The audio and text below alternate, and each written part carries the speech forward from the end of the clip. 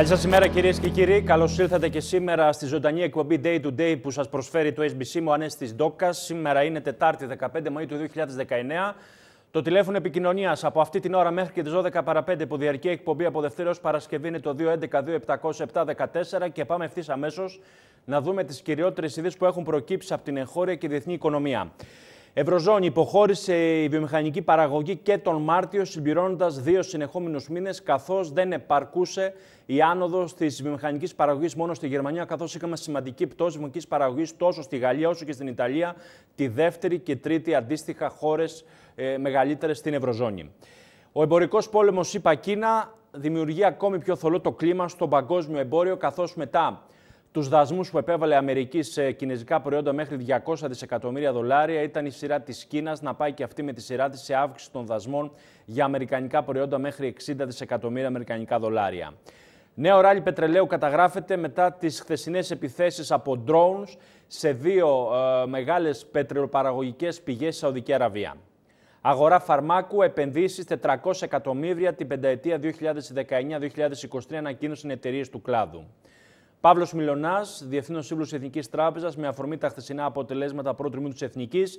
Τα αποτελέσματα του μετασχηματισμού αποτυπώνονται στα μεγέθη πρώτου τριμήνου 2019. Ενώ θυμίζω ότι αύριο στο Λονδίνο η, τράπεζα, η Εθνική Τράπεζα, μέσω του κ. Μιλονά, θα ανακοινώσει το business plan το επόμενο διάστημα, ενώ έχει ήδη ξεκινήσει η εθελούσια έξοδος για περισσότερους από 2.000 εργαζομένους στην Εθνική Τράπεζα. Vodafone Ελλάδος, ανωδικά έσοδα και λειτουργικά κέρδη για το 2018.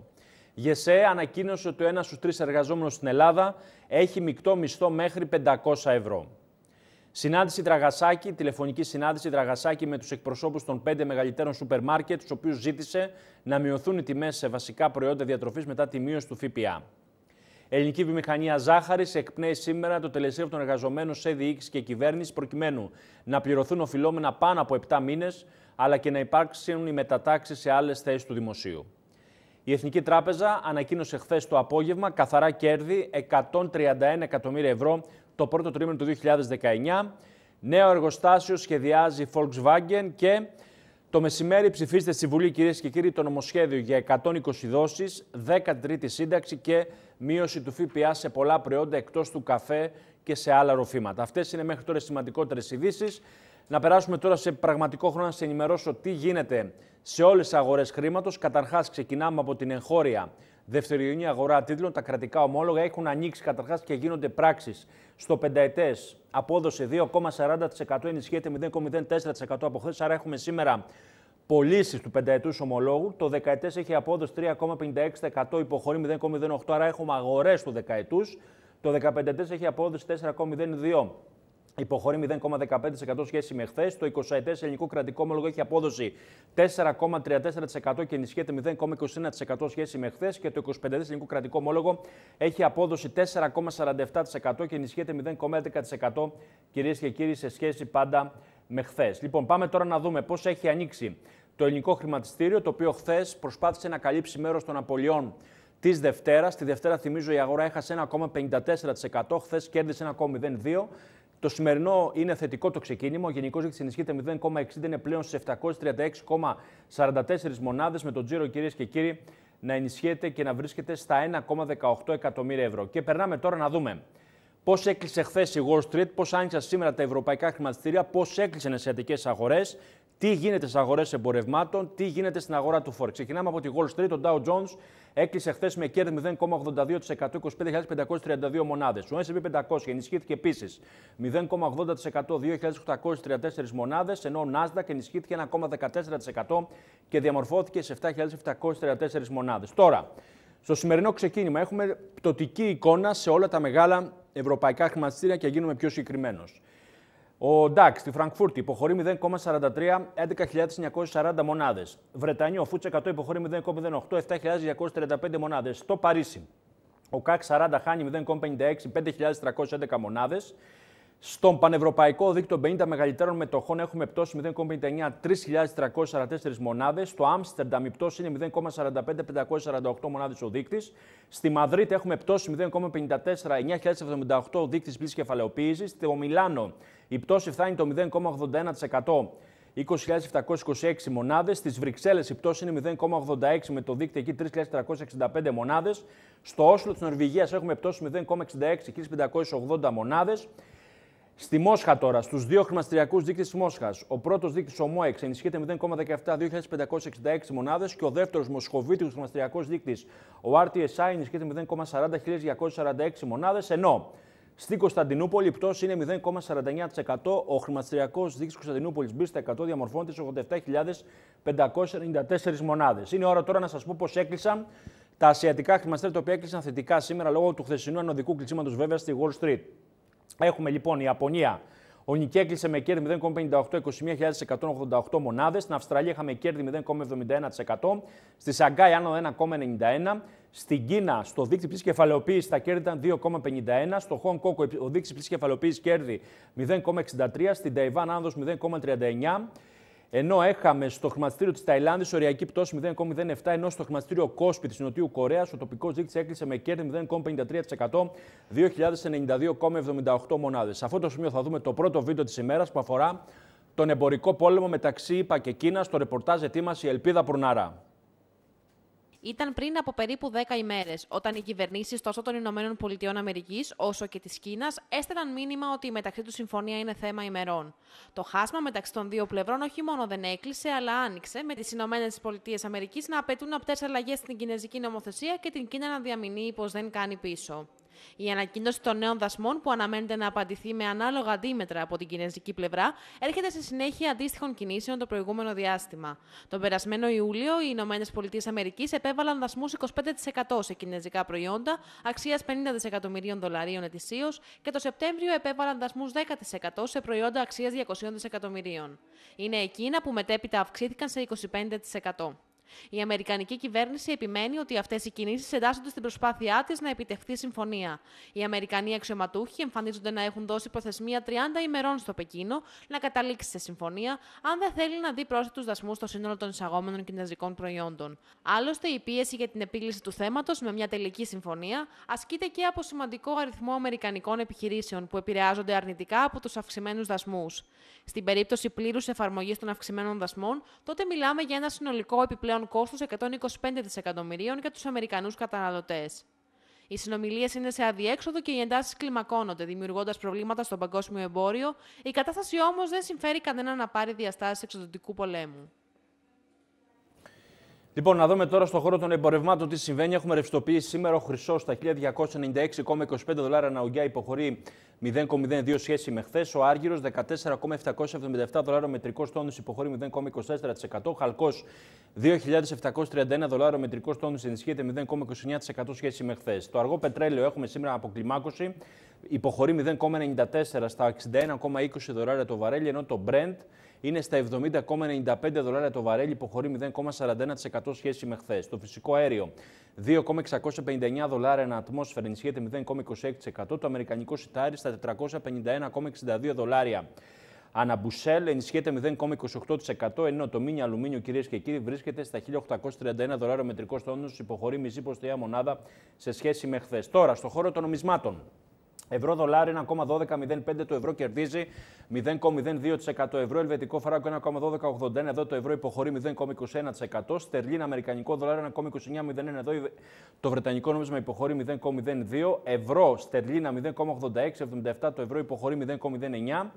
Ευρώ ρούβλι 72,66, εδώ το ευρώ υποχωρεί 0,12%. Αμερικανικό δολάριο γεν στα 109,53, το αμερικανικό νόμισμα υποχωρεί 0,05 και ευρώ αυστραλέζικο δολάριο 1,6195, το ευρώ κερδίζει 0,34%. Στο χώρο τώρα του bitcoin, Bitcoin, αμερικανικό δολάριο 7.955, το Bitcoin υποχωρεί 2,83 σχέση με το αμερικανικό νόμισμα, ενώ Bitcoin ευρώ ισοτιμία στα 7.109,6 και εδώ το Bitcoin υποχωρεί 1,10 αυτή λοιπόν είναι η εικόνα και στο χώρο του κρυπτονομίσματος. Να δώσουμε τώρα μια γενικότερη εικόνα στο χώρο των αγορών, καθώς έχουν ξεκινήσει πτωτικά τα ευρωπαϊκά χρηματιστήρια. Ο εμπορικός πόλεμος Αμερικής-Κίνας συνταράσει τις διεθνείς χρηματαγορές και λογικά έτσι θα απορριφθούμε μέχρι στο Μάιο. Δεν φαίνεται κάποια αποκλιμάκωση. Την ίδια ώρα πάντως το χρηματιστήριο προσπαθεί να ξαναβρει τα πατήματά του. Εξάλλου, ο Μάιος μέχρι τώρα είναι πτωτικός. Αυτή την ώρα που σας μιλώ, ενώ βρισκόμαστε ακριβώς 12 λεπτά, η χρηματιστηριακή συνεδρία ο γενικό δείκτη κερδίζει 0,54%. Είναι σε 736,02 μονάδες. Ο τζίρος ήδη ξεπερνά τα 2 εκατομμύρια ευρώ. Χθες ο τζίρος στο χρηματιστήριο έφτασε σχεδόν τα 90 εκατομμύρια ευρώ. Ήταν μια γενναία ένεση τζίρου για τις χρηματιστηριακές εταιρείες. Αυτό συνέβη διότι είχαμε την αναβάθμιση της Εθνικής Τράπεζας και της Eurobank, οι οποίες ανέβηκαν ξανά στον δείκτη της Morgan Stanley, τον ελληνικό δείκτη των MSCI Standard Index Greece. Και από έξι μετοχές που είχαμε πλέον γίνανε 8. Και αυτό βέβαια αποτυπώνεται κυρίες και κύριοι και στην εικόνα του ελληνικού χρηματιστηρίου. Σήμερα είναι η τελευταία μέρα, είναι το τελεσίγραφο των εργαζομένων της ΕΒΖ σε διοίκηση αλλά και κυβέρνηση. Οι εργαζόμενοι είναι πάνω από 7 μήνες απλήρωτοι, συν το γεγονός ότι ακόμη δεν έχουν αναλάβει την εργασία τους σε μετατάξεις του δημοσίου. Δεν θα χάσουν τη δουλειά τους, οι άνθρωποι είναι μόνιμοι. Από την άλλη, βέβαια, 10 Ιουνίου είναι το δικαστήριο στο Πρωτοδικείο Θεσσαλονίκης για την ελληνική βιομηχανία ζάχαρης. Να δούμε τελικά αν το Fund Innovation θα καταθέσει προσφορά στην πιστότρια Τράπεζα Πυραιός για να διασωθεί αυτή η ιστορική βιομηχανία. Να δούμε το ρεπορτάζ που ετοίμασε η Ελπίδα Πουρναρά. Διορία ως την Τετάρτη 15 Μαου αποφάσισαν να δώσουν στην κυβέρνηση αλλά και τη διοίκηση της ελληνικής βιομηχανίας ζάχαρης οι εργαζόμενοι προτού προβούν σε κινητοποιήσεις. Κυρία αιτήματά τους η υλοποίηση των προγραμμάτων μετατάξεων καθώς και το συνταξιοδοτικό. Ο πρόεδρος της Ομοσπονδίας των Εργαζομένων της Ελληνικής Βιομηχανίας Ζάχαρης, κ. Χριστόδουλος Βαρκάκης, επισήμανε πως σε περίπτωση που δεν υπάρξει απάντηση στα αιτήματα ω και τις 15 του μηνός, από την 5η 16 Μαου οι εργαζόμενοι είναι αποφασισμένοι να προχωρήσουν σε δυναμικές κινητοποιήσεις, καταλήψεις ή ακόμη και σε επίσχεση εργασίας. Οι εργαζόμενοι είναι επί 7 μήνες απλήρωτοι, συμπεριλαμβανομένου και του τρέχοντος μηνός, με τις συνολικές οφειλές προς το μέρος τους να ξεπερνούν τα 2 εκατομμύρια ευρώ.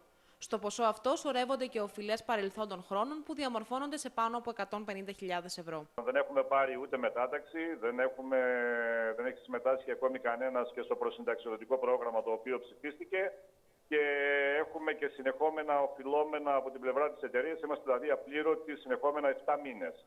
Υπάρχουν φυσικά και κάποια οφειλόμενα από παρελθόντα έτη αλλά το κυρίαρχο ζήτημα είναι αυτά τα οφειλόμενα των 7 μηνών, τα οποία μας έχουν εξαντλήσει και δυστυχώς μια μερίδα συναδέλφων μου πλέον κινούνται στα όρια της εξαθλίωσης, κύριε Ντόκα. Με τον, με τον κύριο Πιτσιόρλα δεν μιλάτε, δεν είχε πει ότι έχει λυθεί το θέμα, δεν έχετε επαφή; Φυσικά και μιλάμε και θα σας πω που, που βρισκόμαστε και τι, τι αποφάσεις έχουμε πάρει κιόλας για τις επόμενες ημέρες για το πώς θα κινηθούμε ως εργαζόμενοι.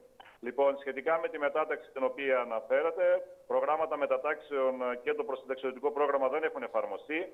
Μπορεί να ψηφιστεί κάνει πριν από πέντε μήνες, αλλά μέχρι σήμερα δεν κατέστη δυνατόν να εκδοθούν υπουργικές εφαρμοστικές αποφάσεις. Οπότε δεν έχει γίνει τίποτα επί της ουσίας, κύριε Ντόκα. Μάλιστα. Ε, από την άλλη πλευρά, για τον κύριο Πιτσιόρλα που αναφέρατε, έχουμε αρκετές ε, συχνές ε, συζητήσεις και συναντήσεις. Δυστυχώς δεν έχει προκύψει κάποια εξέλιξη. Υπάρχει τουλάχιστον από την πλευρά του, βγάζει όλη εκείνη τη διάθεση. Υπάρχει, θα έλεγα, και η υποσχεσιολογία που δεν μου αρέσει η έκφραση, ότι όλα θα λυθούν, όλα θα προχωρήσουν. Αλλά δυστυχώς ο καιρός ε, περνάει φτάνουμε και μέχρι την ημερομηνία της συζήτησης ε, στο αρμόδιο πρωτοδικείο της Θεσσαλονίκης της αίτησης που έχει κατατεθεί από την πλευρά της εταιρείας, ούτως ώστε να υπαχθεί στην πτωχευτική διαδικασία η ελληνική βιομηχανία ζάχαρης. Και αν μέχρι τότε δεν έχουν καταβληθούν τα οφειλόμενα στους εργαζόμενους, εάν δεν έχει αποκατασταθεί η εργασία των, των εργαζομένων μέσα αυτών των προγραμμάτων, θεωρώ ότι είναι πολύ δύσκολο να περάσει και η συγκεκριμένη αίτηση. Στις 10 Ιουνίου έχει οριστεί η συζήτηση στο Πολυμελές Πρωτοδικείο Θεσσαλονίκης για την αίτηση υπαγωγής της ελληνικής βιομηχανίας ζάχαρης στο άρθρο 106 Δέλτα του Πτωχευτικού Κώδικα. Εγώ και κάθε εργαζόμενος της ελληνικής βιομηχανίας ζάχαρης ε, ελπίζουν ή θέλουν ή επιθυμούν, αν θέλετε, να βρεθεί στρατηγικός επενδυτής. Ε, κατά την ταπεινή μου άποψη, το εγχείρημα είναι πάρα, πάρα πολύ δύσκολο. Δεν είμαι αισιόδοξος, θα έλεγα. Ε, μακάρι όμως, μακάρι να τελεσφορήσουν αυτές τις προσπάθειες που γίνονται γιατί είναι κρίμα, άσχετα αν θα είμαστε ή δεν θα είμαστε εμείς στη βιομηχανία. Η βιομηχανία και η παραγωγή ζάχαρης θα πρέπει να υπάρχει κύριε Δόκα, να συνεχίσει έστω να βρεθεί μια λύση για να ξαναξεκινήσει η παραγωγή ζάχαρης στη χώρα μας. Γιατί κακά τα ψέματα μια βιομηχανία τέτοιου εύρους ε, άφηνε πάρα πολλά χρήματα στις περιοχές όπου δραστηριοποιούνταν και γενικότερα στην, ε, στην, κατηγορία, την εργασιακή κατηγορία των αγροτών. Να σας πω, κυρίες και κύριοι, ότι σήμερα στις 12 το μεσημέρι υπάρχει συνέντευξη τύπου του Προέδρου του ΣΕΒ Θεοδόρου Φέσα και του Αντιπροέδρου Ευάγγελου Μητυλινέου. Θα γίνει στα γραφεία της Ευρωπαϊκής Επιτροπής εδώ στην Αθήνα. Οι δύο ε, επικεφαλείς του Συνδέσμου Ελληνικών Βιομηχανιών θα αναφερθούν στην ε, στρατηγική επενδυτική πολιτική που πρέπει να ακολουθήσει η κυβέρνηση, προφανώς και η επόμενη που θα προκύψει από τις εκλογές λογικά τον Οκτώβριο, καθώς υπάρχει τρομερό έλλειμμα σε θέμα επενδύσεων, έχουμε μείνει πάρα πολύ πίσω. Οι δύο άντρες αναμένεται να αναφερθούν, αναμένεται με μεγάλο ενδιαφέρον. Ε, το κανάλι θα βρεθεί εκεί και βέβαια θα έχουμε αύριο πλούσιο ρεπορτάζ. Λοιπόν, πριν σας παρουσιάσω το σημερινό μας πρώτο καλεσμένο, που είναι ήδη εδώ στη θέση του και μας τιμά με την παρουσία του, να σας πω ότι το χρηματιστήριο παρά το πτωτικό ξεκίνημα όλης της Ευρώπης κινείται ανωδικά. Είναι στο συν 0,41% γενικός δείκτης 735,05 μονάδες. Ο τζίρος ήδη περνά τα 3 εκατομμύρια ευρώ. Στις ε, πρώτες τώρα μετοχές με τα μεγαλύτερα κέρδη συναντούμε καταρχάς τα πλαστικά θράκης ενισχύονται 2,34% στα 1,97 ευρώ. Ακολουθεί η Ντραλότ με κέρδη 2,08 στα 0,39 ευρώ. Έχουμε την ε, μοτοδυναμική με κέρδη 1,30 στα 0,78 ευρώ. Η εθνική ενισχύεται 0,87 στα 2,09 ευρώ. Η Αλφα Bank κερδίζει 0,55 στα 1,2720 ευρώ.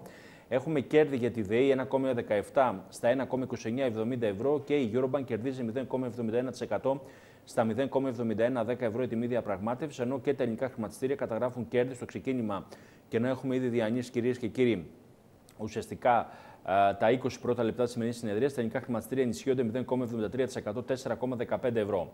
Τώρα, συμμετοχές που καταγράφουν πτώση στο ξεκίνημα, σας λέω πάντα, ο Σαράντη χάνει 1,38, βρίσκεται στα 7,15 ευρώ. Γεκ Τέρνα υποχωρεί 1,03 στα 4,79 ευρώ. Η ΑΣΟ υποχωρεί 0,14, 1,46 ευρώ και έχουμε πτώση και για τη μετοχή της Motor Oil 0,20% βρίσκεται στα 20 ευρώ. Σε αυτό το σημείο να καλωσορίσω εδώ στα κεντρικά στούντο του SBC στο Εράκλειο της Αθήνας τον ε, Διευθύνοντα Σύμβουλο της Μέρη Χρηματιστηριακή, τον κύριο Αθανάσιο Βλαχόπουλο. Κύριε Βλαχόπουλο, καλώς ήρθατε και χρόνια πολλά. Χρόνια πολλά, καλημέρα κιόλας. Να μιλάμε στον ελληνικό, γιατί νομίζω ότι η πολύχρονη φιλία μας τώρα θα ήταν λίγο πολύ υποκριτικό. Εν πάση περιπτώσει, βέβαια, οι κανόνες τηλεόρασης λένε ότι πρέπει να μιλάμε στον πληθυντικό, αλλά εγώ θέλω να είμαι ειλικρινής απέναντι στους αγαπητούς τηλεθεατές.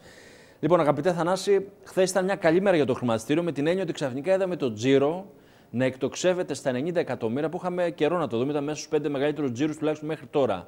Συνέβη κάτι φοβερό, εξηγείται αυτό; Ε, το γεγονός ότι επιστρέφουν ε, η, η Α έχει μείνει στον δίκτυο MSCI, αλλά επιστρέφει η Εθνική και η Eurobank, αυτό δημιουργεί μια τονοτική ένεση ε, και από εκεί και πέρα θεωρώ ότι το ενδιαφέρον θα ενδυναμώσει ε, το προσοχή διάστημα. Βεβαίως θα υπάρξουν εγκροές από, σε άλλες μετοχές που ανήκουν στον ίδιο δίκτυ. Δηλαδή την τελευταία μέρα θα δούμε ε, εγκροές ε, σε όλες τις υπόλοιπες ναι. ε, μετοχές. Αλλά το ευχάριστο γεγονός είναι ότι πληθαίνει ο αριθμός των εταιριών που μπαίνουν στο δίκτυ. Αυτό προϊονίζει και καλύτερα πράγματα για μετέπειτα. Η βελτίωση τώρα για τις δύο μετοχές είναι ουσιαστικά η εικόνα που έδειξαν οι τράπεζες το πρώτο τετράμινο, που ήταν ένα εξαιρετικό τετράμινο για το ελληνικό χρηματιστήριο που βρέθηκε στην κορυφή των παγκόσμιων αποδόσεων. Ε, υπάρχουν συγκεκριμένα κριτήρια που χρησιμοποιούν ε, οι συγκεκριμένοι δείκτες. Ε, εφόσον οι εταιρείες πληρούν αυτά τα κριτήρια, ξαναμπαίνουν ε, μπαίνουν εφόσον πληρούν και είναι αρκετά κριτήρια, δεν θέλω ναι, ναι, να είναι κεφαλαιοποίηση, είναι το free float, είναι πολλά που κοιτάμε είναι, είναι, είναι η εταιρική διακυβέρνηση, ναι. ε, ο κίνδυνος που μπορεί να έχει... Ε, είναι πολλά τα κριτήρια. Ε, η ουσία είναι η εξής, ότι φεύγοντας ε, από τα μνημόνια, το οποίο επηρεάζει άμεσα ε, το ελληνικό χρηματιστήριο, ε, έχοντας καλύτερα επιτόκια, ξαναγυρνάει το ενδιαφέρον στην ελληνική αγορά, παρότι βλέπουμε ότι αποχωρούν πολλές εταιρείες ναι. που οι περισσότερες βέβαια είναι μικρές. Ναι. Αν εξαιρέσουμε το dual listing που θα κάνει ο Τιτάνας, ε, για κάποιες άλλες εταιρείες δεν θα. Ναι. Ξέρω, μάλλον πέρασαν και απαρατήρητε όσα χρόνια στο Δεν θα θρυνήσουμε. Η πραγματικότητα είναι. Το ελληνικό χρηματιστήριο χρειάζεται καλές ε, εταιρείες, αξιόπιστους ε, ώστε να ξανα. Ε, αποκτήσει την εικόνα και το ενδιαφέρον που αρμόζει να έχει το ελληνικό χρηματιστήριο. Ωραία. Θα αναφερθούμε και διεξοδικότερα και στο επόμενο κομμάτι της το χρηματιστήριο. Απλώς θέλω να σας ρωτήσω ότι το χρηματιστήριο για να ξαναδεί πάλι αναβάθμιση και από τον MSCI και από το FUCI, ε, πιστεύεις ότι καθοριστικό είναι και το θέμα των capital controls πέρα από όλα τα άλλα; Είναι δεδομένο. Είναι δεδομένο έτσι. Ε, από τη στιγμή που έχουμε πλήρη άρση των capital controls, είναι δεδομένο ότι σε σύντομο χρονικό διάστημα ε, θα γίνει αναβάθμιση και στο FTSE και στον MSCI της ελληνικής αγοράς και αυτό θα έχει ένα άμεσο θετικό αντίκτυπο διότι θα έχουμε πολύ μεγάλες ζωές. Θα μπουν πολλά φαν τα οποία παρακολουθούν εννοείται την πρώτη κατηγορία των Την χωρών, πρώτη κατηγορία. των όριμων αγορών. Καθώς και θα έχουμε και περισσότερες εταιρείες οι οποίες θα μπουν σε αυτούς τους δείκτες. Μάλιστα. Λοιπόν, είναι πάντα μαζί μας ο κύριος Αθανάσιος Βλαχόπουλος, ο Διευθύνων Σύμβουλος της Μέρη Χρημαστριακή. Θα παραμείνει και στο επόμενο κομμάτι της εκπομπής. Εμείς, λίγο πριν πάμε στο πρώτο διάλειμμα της ημέρας, να σας ενημερώσω ότι το χρηματιστήριο συνεχίζει ανωδικά 0,49% η άνοδος 735,65 μονάδες ο, ο δείκτης. Ο τζίρος είναι ήδη στα 3,5 εκατομμύρια ευρώ. Και να σας πω ότι στην Ευρώπη το ξεκίνημα είναι αρνητικό. Αυτή την ώρα η Φραγκφούρτη υποχωρεί 0,48, το Λονδίνο 0,22, το Παρίσι 0,65, το Άμστερνταμ 0,52. Πτώση 0,54 στην Ισπανία, πτώση 0,87 στο Μιλάνο, πτώση 0,89 στις Βρυξέλλες, πτώση 0,70 στο Όσλο της Νορβηγίας, οι δύο χρηματιστηριακοί δείκτες στη Μόσχα κινούνταν οδικά ο MOEX κατά 0,09 και ο RTSI κατά 0,30, ενώ στη γειτονική μας Κωνσταντινούπολη η πτώση φτάνει το 0,85%, 87.283 μονάδες. Θυμίζω ότι σήμερα το μεσημέρι στη Βουλή ψηφίζεται το νομοσχέδιο για τις 120 δόσεις ρυθμίσεις σε ασφαλιστικά ταμεία εφορίες και οργανισμούς τοπικής αυτοδιοίκησης για τη 13η σύνταξη την οποία θα λάβουν συνταξιούχοι ο νούπο, μιλάμε για τις 20 του μηνός, καθώς και για τη μείωση του ΦΠΑ. Και μια και μιλάω για μείωση ΦΠΑ, θυμίζω ότι χθες ο αντιπρόεδρος της κυβέρνησης κ. Δραγασάκης επικοινώνησε τηλεφωνικά με τους επικεφαλείς της οικογένειας Σκλαβενίτη, με τον επικεφαλής της ΑΒ Βασιλόπουλος, με τον επικεφαλής σούπερ μάρκετ Μετρό ΑΕΒ και με άλλους επικεφαλείς σούπερ μάρκετ, τους ζήτησε το εξής: Να περάσουν άμεσα η μείωση των τιμών στα προϊόντα, εκτός καφέ και ροφημάτων που δεν περιλαμβάνεται η μείωση του ΦΠΑ, Κάτι το οποίο δέχθηκαν οι επικεφαλείς των μεγάλων αλυσίδων σούπερ μάρκετ. Να δούμε αυτό τώρα αν θα γίνει πράξη. Θα κλείσουμε αφού δούμε το βίντεο που αφορά την πορεία εργασιών του ομίλου Κορέ το 2018, πώς εξελίσσει το 2019. Θα πάμε σε διάλειμμα και στις 11 θα είμαστε εδώ για να συνεχίσουμε τη συνέντευξή μας με το Διευθύνοντα Σύμβουλο της Μέρη Μαστριακής, τον κύριο Θανάσιο Βλαχόπουλο. Βίντεο, διάλειμμα, στις 11 ώρα και πάλι μαζί κυρίες και κύριοι. Η ενίσχυση της διεθνού δραστηριότητα και η εδραίωση του brand παγκοσμίως υπήρξε ο βασικός άξονας στρατηγικού σχεδιασμού για τον όμιλο Κορές το 2018 στο πλαίσιο της σύμπραξης με τη Morgan Stanley Private Equity Asia και την εταιρεία Profex, οδηγώντας σε ανάπτυξη συν 8%. Οι διεθνείς πωλήσεις κατέγραψαν το 2018 ανάπτυξη της τάξης του 17%, συμμετέχοντας με ποσοστό 47% στις ενοποιημένες πωλήσεις του ομίλου, οι οποίες ενισχύθηκαν συνολικά κατά 8%, ξεπερνώντας τα 60 εκατομμύρια ευρώ. Το Διεθνές Δίκτυο επεκτάθηκε με τη σημαντική προσθήκη της Κίνας, μια ανερχόμενη δύναμη στον τομέα των καλλιτικών, με εξαιρετικές προοπτικές για την Κορές, όπως δείχνει θετική αποδοχή των προϊόντων της κατά το λανσάρισμα της μάρκας το δεύτερο εξάμεινο του 2018. Παράλληλα, οι ευρωπαϊκές αγορές προτεραιότητας, Νορβηγία, Αγγλία, Γαλλία και Γερμανία, συνέχισαν να καταγράφουν ανωδική πορεία συνολικά στο συν 8% το 2018. Το 2018 σηματοδοτεί για τον Όμιλο την επιτυχή ολοκλήρωση ενός εντατικού πλάνου ανάπτυξης και βελτίωση των οικονομικών μεγεθών, που εξασφάλισε την υγιή χρηματοοικονομική θέση του σε μια εξαιρετικά απαιτητική οκταετία. Της προσπάθειας αυτής ηγήθηκε ο κύριος Δημήτρης Βιδάκης, ο οποίος έχοντας οδηγήσει την ανάπτυξη του ομίλου άνω του 40% ενάντια στο δυσμενές οικονομικό περιβάλλον, αποχωρεί από τη θέση του Διευθύνοντος Συμβούλου και αναλαμβάνει πλέον τη νέα ιδιότητα του Συμβούλου Διοίκησης. Ο κύριος Βιδάκης υπήρξε επικεφαλής της ομάδας διοίκησης της Κορές από το 2011. Σε αυτή την κομβική χρονική στιγμή επαναπροσδιορίζεται η δομή και η στρατηγική του ομίλου υπό την κατεύθυνση του Γιώργου Κορέ και της διοίκησης του ομίλου. Το νέο σχήμα και στρατηγική αποτελούν το κατάλληλο υπόβαθρο για την ουσιαστική επέκταση και εμπορική επιτυχία της μάρκας Κορέ σε σημαντικές διεθνείς αγορές που παρουσιάζουν εξαιρετικά περιθώρια ανάπτυξης για τον όμιλο, υπηρετώντας έτσι το όραμα ενός παγκόσμιου μπραντ.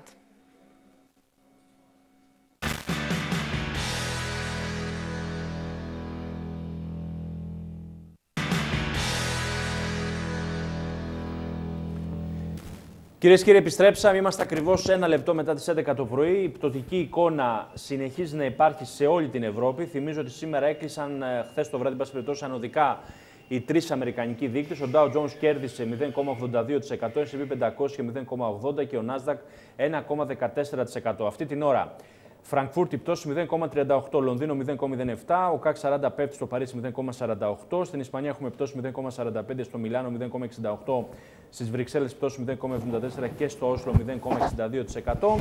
Αντίθετα, σε σχέση τώρα, η Αθήνα προσπαθεί να καλύψει και καλύπτει σε σχέση και μέχρι τη χθεσινή άνοδο τις απώλειες το 1,54 που έχασε τη Δευτέρα. Αυτή την ώρα που σας μιλάω, ο γενικός δείκτης ενισχύεται 0,71%, 737,24 μονάδες, με το τζίρο ήδη να προσεγγίζει τα 5 εκατομμύρια ευρώ.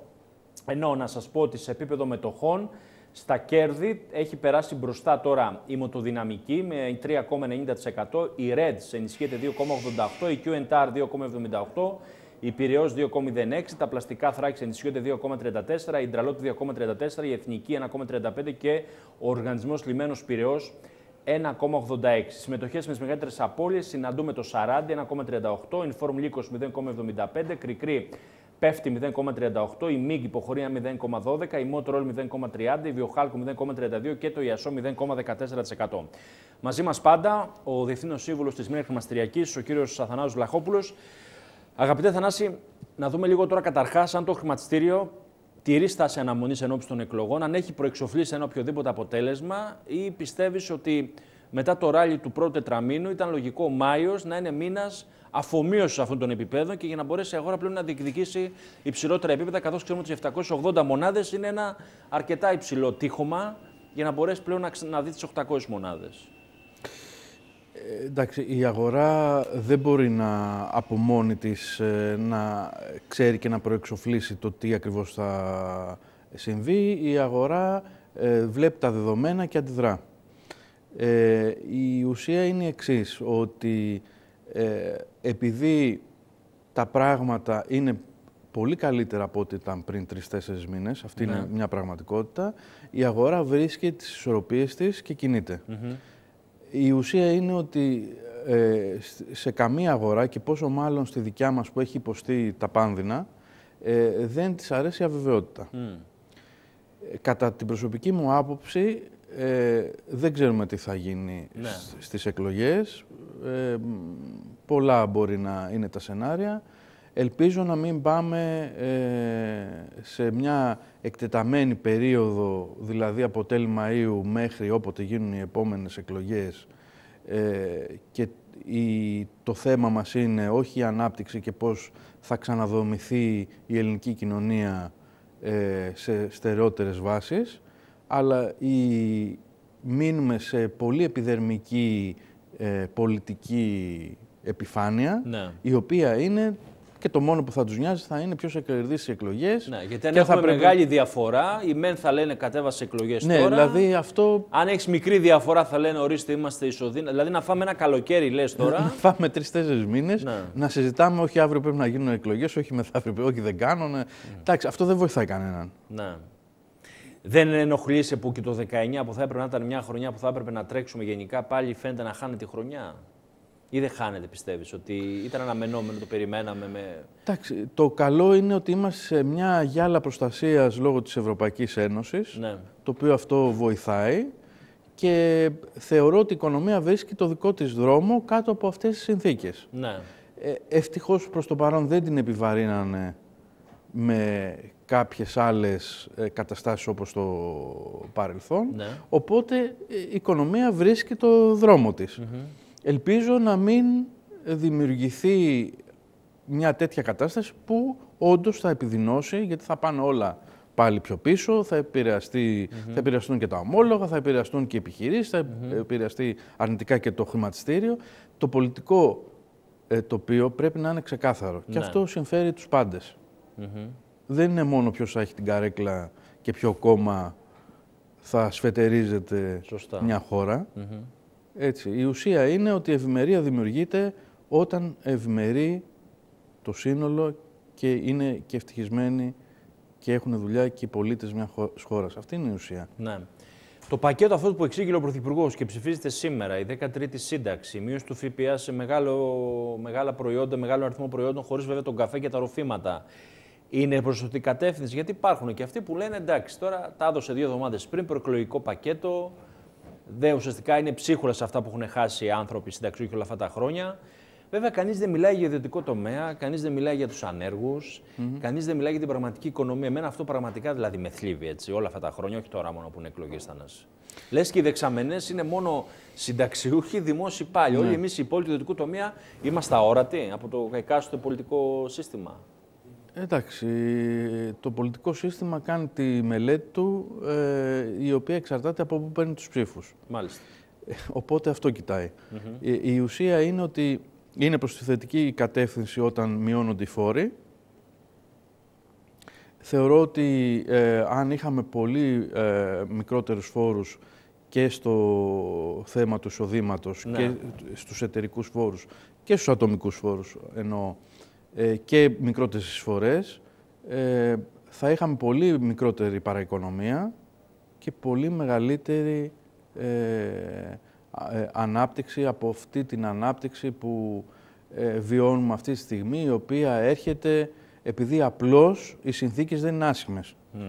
Ναι, δεν έχουμε πέσει σε μια νέα κρίση, ας Ακριβώς. Πούμε, δηλαδή, δομικά, ναι, έχουμε, μας σηκώνει το κύμα των χαμηλών επιτοκίων που υπάρχει σε, όλο τον, ε, ε, σε όλες τις μεγάλες χώρες. Ναι. Δηλαδή, όταν ε, ανήκεις στην οικογένεια της Ευρωπαϊκής Ένωσης, όπου υπάρχουν ουσιαστικά αρνητικά επιτόκια, αυτό περνάει εμέσως και σε εμάς και γι' αυτό υπάρχει και έτσι το αγοριστικό ενδιαφέρον στα δικά μας ομόλογα, γιατί αγοράζουν ευρώ, αγοράζουν Ευρωπαϊκή Ένωση με ε, πολύ υψηλότερο επιτόκιο.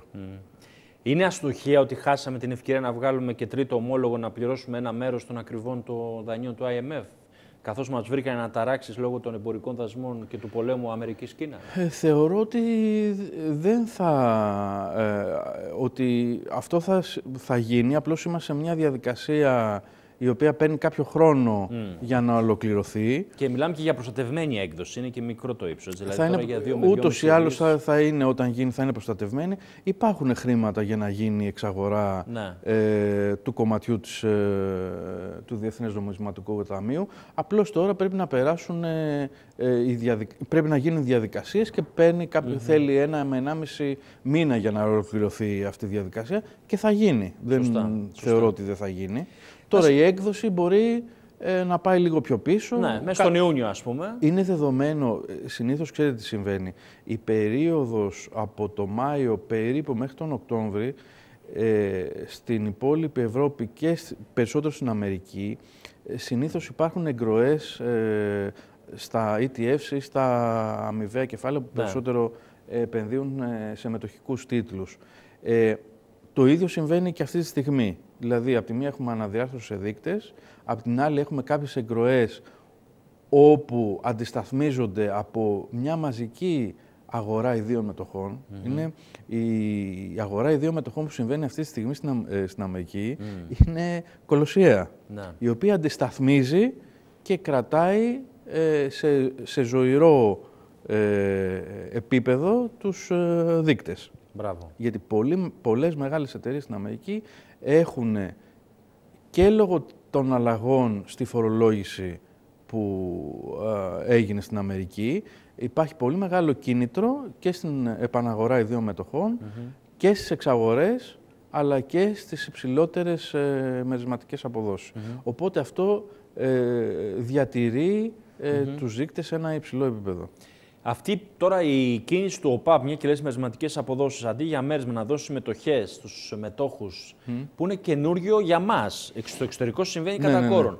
Πώς τη βλέπεις, είναι δηλαδή ένα, μια νέα εποχή, θα το δούμε και σε άλλες καλές εταιρείες αυτό; Ε, θα υπενθυμίσω ότι πρόσφατα ε, ξανά άλλαξε η νομοθεσία ε, για πλειάδα ε, πραγμάτων για τις ε, ανώνυμες εταιρείες. Ε, και εμείς είμαστε σε διαδικασία και μελετάμε ε, την καινούργια νομοθεσία. Ε, ό,τι υπάρχει το οποίο μπορεί να χρησιμοποιηθεί σαν μοχλός από τις εταιρείες είναι καλό. Και βέβαια, καλό και είναι και καλό κίνητρο και για τους μετόχους, οι οποίοι όταν μπει σε αυτές τις εταιρείες ουσιαστικά θεωρείσαι μακροπρόθεσμος. Δηλαδή μπαίνεις σε αυτές τις εταιρείες για να τις έχεις για χρόνια και όχι να τις ρευστοποιήσεις κτλ. Ναι.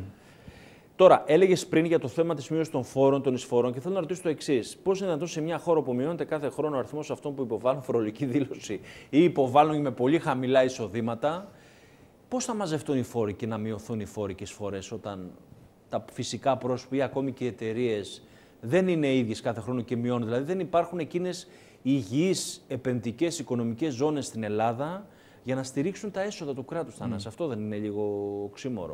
Ναι, γιατί ε, ακριβώς ε, αυτό που είπες είναι ότι εάν ε, είχαμε μειωμένους... Ε, κοίταξε όταν είσαι σε μια γειτονιά ναι. όπου ε, απ' τη μία γειτονιάζεις και με χώρες οι οποίες δεν είναι στην Ευρωπαϊκή Ένωση, ναι. αλλά και με χώρες που είναι και έχουν συντελεστές 5 και 10% ναι. ε, και φόρους και για, την ναι. για τις εταιρείες, αλλά και για τους ιδιώτες. Πώς θα πας εσύ να ανταγωνιστείς με 26% και 40% και 50% και εργοδοτικές εισφορές. Και... και λιγότερο εργατικό δυναμικό λόγω πληθυσμού έχεις. Ε, ναι, αλλά εν πάση περιπτώσει η ουσία είναι η εξής ότι χαμηλότερους, ε, με χαμηλότερους φόρους δίνεις περισσότερα κίνητρα να διευρυνθεί ναι. η ομάδα η οποία ε, θα αντλήσεις ναι. τους φόρους που χρειάζεσαι για να ε, λειτουργήσει. Και θα γίνει αυτό ή θα έχουμε πάλι παραοικονομία, θα φουσκώσει παραοικονομία, πιστεύεις; Θεωρώ ότι δεν έχει κίνητρο ο άλλος μετά. Άμα έχει τόσο χαμηλά... Αν έχει χαμηλή φορολόγηση, δεν έχει κίνητρο να φοροδιαφεύγει. Αν χρειάζεται να πληρώνει 60 και 70%, ε, ε, αυτό, αυτό του δίνει ένα κίνητρο ε, να φοροδιαφεύγει. Να φοροδιαφεύγει. Ε, και έτσι, ουσιαστικά, ε, μπαίνει σε ένα σπιράλ το οποίο δεν δημιουργεί καμία ανάπτυξη. Σωστά. Απ' την άλλη έχεις χώρες που προσφέρουν πολύ χαμηλή φορολόγηση, άρα αιμορραγείς και με τον έναν τρόπο και με τον άλλον τρόπο. Σωστά. Οπότε μπαίνει σε αδιέξοδο. Δηλαδή, οι υψηλοί φόροι σε συνδυασμό με χώρες οι οποίες προσφέρουν πολύ καλύτερες συνθήκες φορολογικές από σένα και στους άλλους τομείς. Γιατί δεν είναι μόνο η φορολογία, είναι και το τι έχεις σαν αντίδωρο για τους φόρους που πληρώνεις. Ε, βέβαια, ναι, σωστά. σωστά. Έτσι, ανταποδοτικά τι. Ε, ανταποδοτικά ναι. τι παίρνεις. Αν έχεις ένα δημόσιο το οποίο ε, συνέχεια σου δημιουργεί εμπόδια στο να λειτουργήσεις, ε, αν δεν έχεις περίθαλψη, αν δεν έχεις παιδεία, όλα αυτά ε, λειτουργούν αρνητικά. Αρνητικά, σωστά. Γιατί στι, στις βόρειες χώρες που το λέμε συνέχεια, στη Σουηδία, στην Νορβηγία κτλ. που υπάρχουν ε, σχετικά συγκριτικά υψηλότεροι φόροι, υπάρχει μια πολύ μεγάλη ανταποδοτικότητα. Παρόλα αυτά, και αυτές οι χώρες αυτή τη στιγμή αντιμετωπίζουν προβλήματα, δηλαδή και στη Σουηδία και στη Δανία. Στη Δανία νομίζω ότι σου είπαν ότι πλέον θα ε, βγαίνουν στη σύνταξη πάνω από τα 70 έτη, 70... Καλώς το κάτι. εγώ το βλέπω 70 αυτό. Κάτι. Για τη δική μου τη γενιά, εγώ νομίζω ότι τα 70 plus θα είναι δεδομένο έτσι. Μετά από 20 χρόνια, 25 που θα βγούμε εμείς, νομίζω ότι δεν θα υπάρχει 67. Και λόγω δημογραφικού, έτσι. Ναι, το πιο πιθανό. Λογικά. Ε, Πες μου κάτι άλλο. Σε περίπου 45 λεπτά τώρα ξεκινάει η συνέντευξη του κ. Φέσου και του κ. Μητυλινέου στο ΣΕΒ. Θα αναφερθούν στις επενδύσεις. Πόσο εθεροβάμα μπορείς να είσαι όταν θες να έχουν επενδύσεις 100 δις ευρώ την επόμενη πενταετία; Σε μια χώρα η οποία ακόμη αυτό που λες, πλακωνόμαστε για τα πολιτικά. Εγώ είμαι καλύτερος, εσύ είσαι χειρότερος. Εγώ θα, θα διοικήσω καλύτερα, θα κυβερνήσω καλύτερα. Και δεν έχει, μπει, δεν έχει έρθει μια μεγάλη επένδυση την τελευταία δεκαετία. Δηλαδή, επενδύσεις γίνονται μόνο από τις εσωτερικές εταιρείες, μεγάλες εταιρείες. Δεν είναι αυτά τα νούμερα λίγο έτσι πολύ απόμακρα. 100 δις τώρα μια μεγάλη επένδυση εδώ η Κόσκο, ας πούμε, έτσι, που είναι τα 586 το master plan και περιμένουμε μετά τις εκλογές να προχωρήσει. Εντάξει, εάν ακολουθήσουμε το ίδιο μονοπάτι, ε, αυτό το νούμερο είναι πολύ δύσκολο να, ναι. να πιαστεί. Ε, εξαρτάται τι πορεία θα ακολουθήσουμε. Ναι. Δεν Αυτό εξαρτάται την επόμενη κυβέρνηση, έτσι, αν έχει τη, τη, τη διάθεση. Από την επόμενη κυβέρνηση από οποιαδήποτε κυβέρνηση έχουμε μετά. Ναι. Να. Εσύ τι θέλεις να δεις, δηλαδή, όταν θα προκύψει νέα κυβέρνηση, όποια και αν είναι αυτή, η φυστάμενη ή καινούρια, τι θες να δεις, Θες να δεις πολύ γρήγορες κινήσεις στο πρώτο διάστημα. Δηλαδή, αυτό το, οι πρώτες 100 μέρες έχει ξεπεραστεί με βάση την εποχή που ζούμε. Θες γρήγορες κινήσεις. Θεωρώ ότι ό,τι και να θέλουμε και αυτοί που θα, θα έχουν κάποια απόστα κυβερνητικά, ε, πιστεύω ότι περισσότεροι έχουν θέληση να κάνουν πράγματα. Ναι. Ε, αλλά είναι τόσο δεδαλώδες το, ο δημόσιος τομέας ε, που απελπίζονται, πιστεύω, και αυτοί που προσπαθούν. Ναι. Δηλαδή, έχουμε, όπως είπαμε, πολλά δομικά ζητήματα στο πώς λειτουργούμε, ναι. τα οποία πρέπει να επιληθούν. Ναι. Και τι κάναμε 10 χρόνια μέσα στην κρίση; Δεν έχεις απάντηση. Τώρα, επειδή λέμε για επενδύσεις, ελληνικό. Έχουμε δώσει νέα ημερομηνία. Ο κύριος Αθανασίου τη Land Development μιλάει μέσα στο καλοκαίρι τον Αύγουστο θα μπουν οι μπουλντόζες. Φύγαμε από τα Χριστούγεννα του κύριου Σταθάκη, φύγαμε από το Πάσχα που λέγαν διάφοροι. Αν ήταν το ελληνικό την περίοδο των Ολυμπιακών της Αθήνας με την κυρία Αγγελοπούλου και έλεγαν, κοιτάξτε να δείτε, δεν μιλάει κανένας, πρέπει να γίνει γιατί πρέπει να γίνουν οι αγώνες. Αυτό δεν θα ήταν ιδανικό, δεν θα έχει ξεκινήσει η επένδυση, λογικά. Είναι δεδομένο. Άρα κάτι πρέπει να κάνεις και τώρα έτσι σαν κυβέρνηση, σαν χώρα, να βρεις έναν τρόπο. Γιατί συνέχεια μου λένε το ρεπορτάζ, προκύπτουν συνέχεια προσφυγές. Ναι. Δεν προχωράει, έχουν κολλήσεις. Και ακόμη και το καζίνο παίρνει παράταση για που πρέπει πρώτα να γίνει το καζίνο και μετά να προχωρήσει η επένδυση. Ναι, ναι. Ε, ε, από ό,τι νομίζω πήρε ήδη ένα μήνα ακόμα Ναι. παράταση. Εγώ, Πάει θε- και ο Ιούνιος. εγώ θεωρώ ότι οπωσδήποτε θα γίνουν προσφυγές που ευτυχώς ε, θα τελειώσουν γρήγορα. Πιστεύω ότι το, το ελληνικό επειδή είναι η θέληση ολονών και έχει φτάσει πλέον σε ε, τελικό στάδιο, ε, ενώ όλων των πολιτικών δυνάμεων είναι θέληση να προχωρήσει το ελληνικό, ε, θεωρώ, εντάξει, με την καθυστέρηση που είχε, ότι πλέον ε, έχουμε φτάσει πολύ κοντά. Δηλαδή θεωρώ ότι μέσα στο 19 Είσαι τόσο αισιόδοξος. ε, είναι η προσωπική μου άποψη αυτή, ναι, ότι θα Είσαι έχει... καλός άνθρωπος. Γι' αυτό είσαι αισιόδοξος. Εγώ γιατί δεν πιστεύω τίποτα. Και νομίζω ότι όλα θα πάνε για το 20 και ότι όλα αυτά είναι κληρονομιά για την επόμενη κυβέρνηση. Πετάμε τον Τενεκεδάκη και για τα ΕΛΠΕ και για τη ΔΕΠΑ και για τη ΔΕΗ και για το πάνω Εγνατία Οδό. Δηλαδή αυτό λέω. Φεύγει το 19. Εμένα αυτό είναι που πραγματικά με, με εκνευρίζει, ας πούμε. Ναι. Θα μου πεις τώρα, όταν είσαι εσύ υπουργός σήμερα, θα βάλεις υπογραφή για ένα έργο που ξέρεις ότι δεν θα, είναι, δεν θα είσαι, ας πούμε, υπουργός μετά από 6 μήνες; Ε, ναι, η πραγματικότητα είναι ότι κάθε φορά που έχουμε εκλογές, ακόμα και όταν σε- στην ίδια κυβέρνηση αλλάζουν υπουργοί, Ναι. υπάρχει μια καθυστέρηση εκπληκτική. Διότι ακόμα και στην ίδια κυβέρνηση υπουργός να αλλάξει, μέχρι να φέρει τις δικές του διαδικασίες, Ναι, θέλει- το δικό του κόσμο Ναι. κτλ., ε, τους έφαγε στους δύο-τρεις μήνες. Σωστά. Οπότε φανταστείτε όταν αλλάζει η κυβέρνηση. Εκεί υπάρχει τεράστια καθυστέρηση. Επιλέγεις κυβέρνηση αυτή που θα προκύψει με τεχνοκράτες, γνώστες, που μπορεί να πει ο, ο επόμενος πρωθυπουργός, όσοι είστε Βρυξέλλες και ξέρετε τα θέματα, θα έρθετε τώρα στην Ελλάδα να βοηθήσετε να τρέξει η χώρα. Και όχι θα βάλω τον ε, κύριο Βλαχόπουλο που βγήκε πρώτος σε ψήφους στην Αθήνα ή ξέρω εγώ κάπου αλλού γιατί τον επιδοκίμασε ο λαός κτλ. Τι κυβέρνηση πιστεύεις ότι πρέπει να υπάρξει; Εντάξει, το θέμα δεν είναι τι πιστεύουμε, το θέμα είναι η πραγματικότητα. Και η πραγματικότητα είναι ότι έχουμε ένα σύστημα το οποίο ε, βασίζεται και εξαρτάται από την πελατειακή σχέση και αυτό διονύζεται. Οπότε ό,τι και να πούμε εμείς, Και θα είναι και άκομψη να μην βάλει κάποιον τώρα που έχει βγει πρώτος σε ψήφους, να μην τον τιμήσει, ας πούμε, ο ε, εκάστοτε ναι, εντάξει, πρωθυπουργός. ε, έτσι λειτουργούσαν τα πράγματα, έτσι λειτουργούν, έτσι θα Που αυτός μπορεί να είναι λειτουργούν. και άσχετος, να μην ξέρει τι σημαίνει ΣΔΙΤ, τι σημαίνει ευρωπαϊκά Εντάξει, προγράμματα, έχ- έχουμε- τι σημαίνει management. Έχουμε δει πολλά. Πόσες φορές δεν υπήρχαν ε, μέχρι και υπουργοί ναυτιλίας οι οποίοι ήταν ε, γυναικολόγοι ή Ναι, ναι, σωστά. σωστά. και πρέπει να ασχοληθούν με τα λιμάνια, ας πούμε, και με, το, με, την, ε, με τον Αιγιαλό. Λοιπόν, πάμε λίγο ξανά στο χρηματιστήριο. Ε, να ρωτήσω ε, αν τελικά μετά από τόσα χρόνια, το 99 σίγουρα είναι ο εφιάλτη της αγοράς και ο οποίος μας καταδιώκει. Σήμερα, μάλιστα το πρωί, υπήρχε πάλι ένας υποψήφιος βουλευτής που έλεγε: Είδατε το, το 99 στο χρηματιστήριο, δεν πλήρωσε κανένας τι έγινε κτλ. Εν πάση περιπτώσει, είπαμε, είναι μεγάλη κατάρα. Επενδυτική γενιά νέα θα δούμε, Ελλήνων εννοώ. Εντάξει, οι ξένοι έχουν το 67% της αγοράς, αυτοί έχουν τα ενία, είναι γνωστό. Έλληνες θα δούμε, είναι δύσκολο πλέον ή με αυτό το global που έχουμε των αγορών, ο καθένας μπορεί πλέον και μέσω της δικής σου εταιρείας της Merit να επενδύσει όπου θέλει, είτε σε μετοχές, ομόλογα, εμπορεύματα, ή ETF κτλ. Η πραγματικότητα είναι ότι αυτή τη στιγμή η δικιά μας αγορά πρώτα-πρώτα έχει συρρυκνωθεί πάρα πολύ σε εταιρείες. Έτσι. Αυτές οι εταιρείες όμως που έχουν μείνει, Δεν είναι καλό αυτό όμως, Θανάσης Βλαχόπουλο. αυτό θέλω να πω. Ότι Δηλαδή και 50 εταιρείες να έχεις τύπου ο ΠΑΠ, Μητυλινέου, ΕΛΠΕ, Τιτάνα. ναι, καλό δεν ήταν. Αυτό που έχει σημασία είναι η ποιότητα. Σωστά. Έτσι, Και όχι να έχει 350 και. και όχι η, Ε, μπράβο. η, η ποσότητα, η ποιότητα.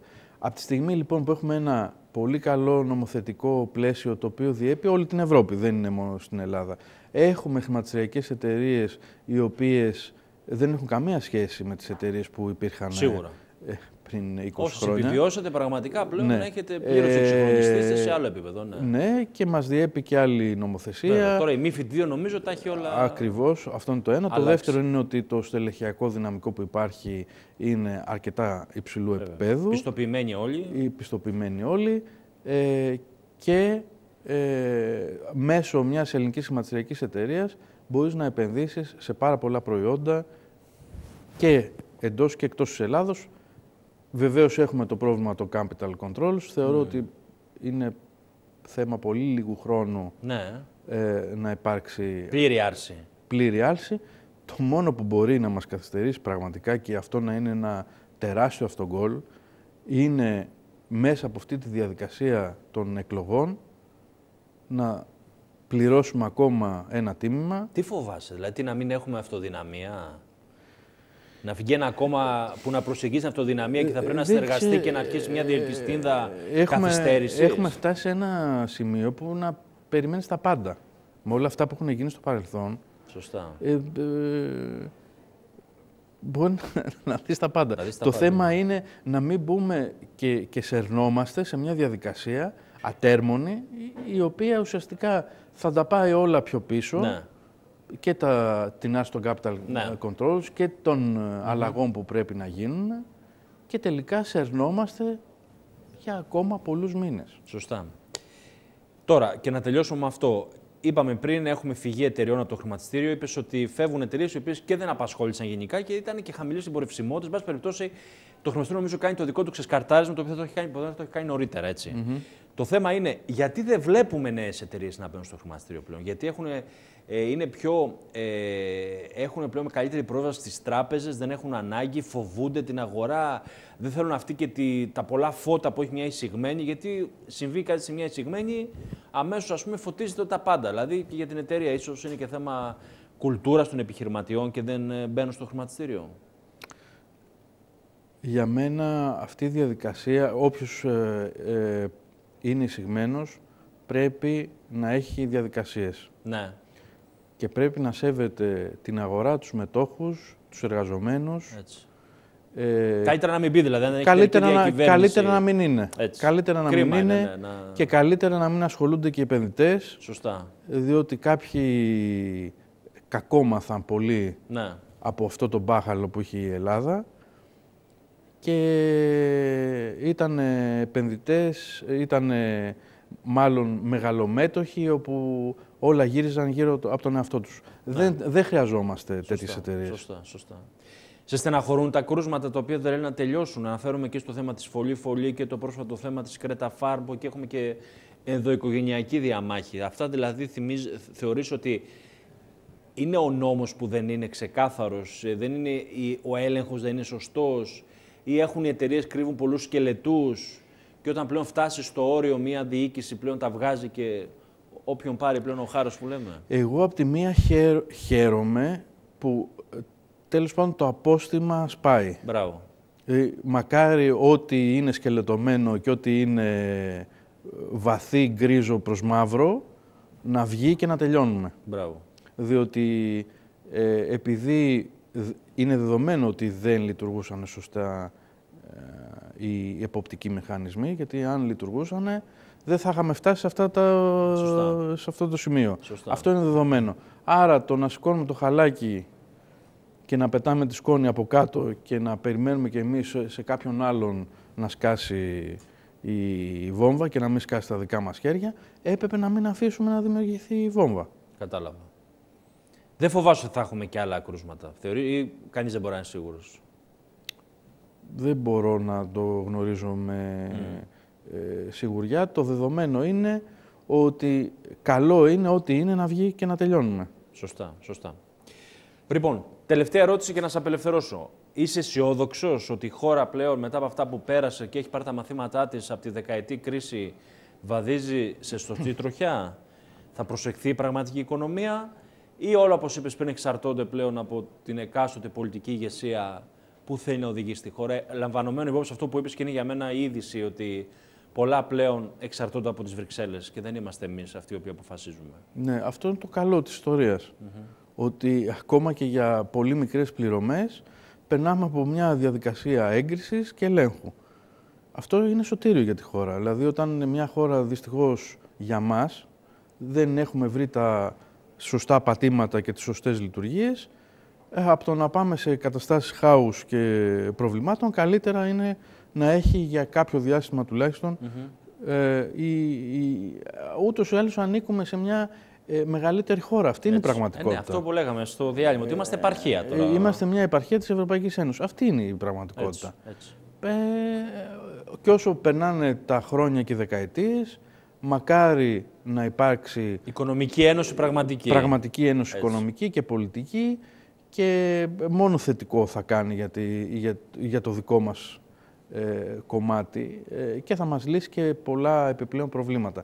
Ε, η χώρα δεν έχει από μόνη της κανένα πρόβλημα. Δηλαδή, έχει και το ανθρώπινο δυναμικό που έχει τις γνώσεις και τις ικανότητες και τους πλουτοπαραγωγικούς τομείς τους έχουμε, δεν, μας λείπει κάτι.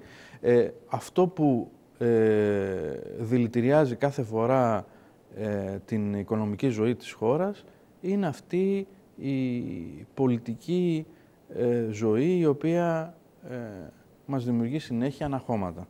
Μάλιστα. Θανάση Βλαχούλου, ευχαριστώ θερμά για την παρουσία σου. Να ευχηθώ καλή συνέχεια στην ημέρα σου.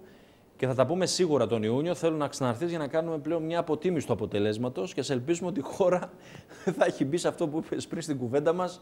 Να πλακωνόμαστε το καλοκαίρι. Εγώ έβγαλα περισσότερο από σένα. Πήγαινε τώρα σε εκλογές. Όχι, δεν θα πάω. Δηλαδή είναι κρίμα, ας πούμε, αυτό να συμβαίνει. Έτσι. Πραγματικά.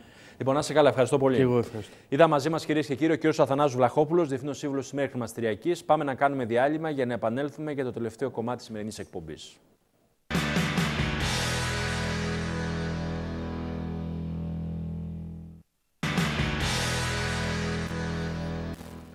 Κυρίες και κύριοι, επιστρέψαμε για τα τελευταία 26 λεπτά της σημερινής μας παρουσίας εδώ στο SBC, η ζωντανή εκπομπή από δεύτερος Παρασκευής Day to Day που σας προσφέρει το SBC. Να πάμε καταρχάς σε μια είδηση που αφορά την Αλφα Τράστα Ανδρομέδα, σύμφωνα με την οποία τη μείωση του μετοχικού κεφαλαίου κατά το ποσό των 300.852 ευρώ με μείωση ονομαστικής αξίας συμμετοχής, η οποία θα κατέλθει από 16 ευρώ σε 15,25 ευρώ με κάθε μία, με σκοπό την επιστροφή κεφαλαίου στους μετόχους. Μιλάω πάντα για την Αλφα Τράστα Ανδρομέδα ύψους 0,75 ευρώ αναμετοχή. Θα εισηγηθεί στην ετήσια τακτική συνέλευση στο Δυτικό Συμβουλίο της εισηγμένης Αλφα Τράστα Ανδρομέδα. Η ημερομηνία αποκοπής και καταβολής της επιστροφής κεφαλαίου θα αποφασιστεί από το Διοικητικό Συμβούλιο και θα ανακοινωθεί στου μετόχου. Η εταιρεία υπενθυμίζει πως το ΔΣ δεν θα εισηγηθεί τη διανομή μερίσματος για τη χρήση του 18. Ωστόσο, όπως σας είπα, η Αλφα Τράστα Ανδρομέδα, προς όλους εσάς που είστε μέτοχοι, θα προχωρήσει στην επιστροφή κεφαλαίου ύψους 0,75 ευρώ αναμετοχή. Να σας πω επίσης ότι σήμερα, κυρίες και κύριοι, έχουμε αποτελέσματα πρώτου τριμήνου της Marmeret Compinant, η οποία είναι εταιρεία μαρμάρων με έδρα τα Σκόπια. Είναι η θηγατρική της ελληνικής εταιρείας Μαρμάρων Παυλίδης από τις εξαιρετικές εισηγμένες. Σήμερα θα βγάλει αποτελέσματα πρώτου τριμήνου. Και μετά την Alpha Trust πάμε να δούμε τι λένε οι αναλυτές για τα χθεσινά αποτελέσματα της Εθνικής Τράπεζας. Ενώ θυμίζω ότι αύριο μετά τη λήξη της χρηματιστηριακής συνεδρίας θα έχουμε αποτελέσματα πρώτου τριμήνου και για τα ελληνικά πετρέλαια. Έτσι λοιπόν, Καλύτερη των αρχικών εκτιμήσεων ήταν η μείωση των μη εξυπηρετούμενων ανοιγμάτων της Εθνικής, σχολιάζει η Deutsche Bank. Εντός των προσδοκιών, η επιδόση της τράπεζας παρατηρεί η Morgan Stanley. Πιο συγκεκριμένα, η Εθνική Τράπεζα ανακοίνωσε καλύτερα το αναμενωμένο κέρδη, σχολιάζει η Deutsche Bank, προσθέτοντας πως η μείωση των μη εξυπηρετούμενων ανοιγμάτων ήταν επίσης καλύτερη των αρχικών εκτιμήσεων. Η Γερμανική Τράπεζα διατηρεί τη σύσταση αγοράς για τη μειωμή της Εθνικής με τιμή στόχο τα 2,10 ευρώ. Σύσταση weight λοιπόν για την εθνική με τιμή στόχο τα 3,10 ευρώ διατηρεί και η Morgan Stanley που σημειώνει πως οι επιδόσεις ελληνικής τράπεζας για το πρώτο τρίμηνο του έτους ήταν σε γενικές γραμμές εντός των εκτιμήσεων.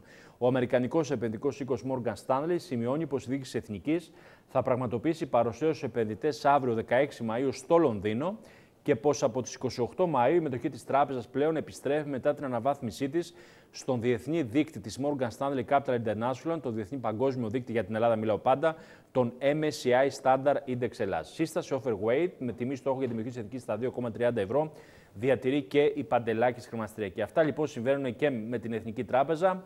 Καλά τα αποτελέσματα. Θα δούμε πώς θα πάνε και άλλες τράπεζες και πάμε να δούμε τώρα σε αυτό το σημείο τι γίνεται με τον εμπορικό πόλεμο Αμερικής-Κίνας. Να πω καταρχάς ότι μετά την αύξηση των εμπορικών δασμών της Αμερικής προς κινέζικα προϊόντα μέχρι 200 δις δολάρια που ισχύει από 10 Μαΐου από το 10% στο 25%, πριν από 48 ώρες ήταν η σειρά της Κίνας να αυξήσει και αυτή με τη σειρά της τους δασμούς κατά των Αμερικανικών προϊόντων μέχρι 60 δισεκατομμύρια δολάρια. Όλη η αρθρογραφία των αγγλικών και αμερικανικών οικονομικών εφημερίδων τα τελευταία 24 ώρα λένε ότι αυτή η κόντρα θα συνεχιστεί όλο το Μάιο και πιθανότητα τον Ιούνιο να υπάρξει μια συνάντηση κορυφής, πιθανότητα και του ίδιου του Αμερικανού Προέδρου με τον Κινέζο ομολογό του, καθώς αυτό το πράγμα από μόνο του δημιουργεί ισχυρούς κραδασμούς και αναταράξεις σε όλες τις διεθνείς αγορές χρήματος. Γι' αυτό είδαμε εξάλλου προχθές Τη Δευτέρα μιλάω πάντα και τη μεγάλη πτώση του Dow Jones, ο οποίος έχασε 1 τρισεκατομμύριο δολάρια κεφαλοποίηση μέσα σε μία νύχτα, πάνω από 2,5% που για τον Dow Jones βέβαια αυτό είναι κράχ. Πάμε να δούμε το ρεπορτάζ που έχει ετοιμάσει η Ελπίδα Πουρναρά ήταν πριν από περίπου 10 ημέρες, όταν οι κυβερνήσεις τόσο των Ηνωμένων Πολιτειών Αμερικής όσο και της Κίνας έστελαν μήνυμα ότι η μεταξύ τους συμφωνία είναι θέμα ημερών.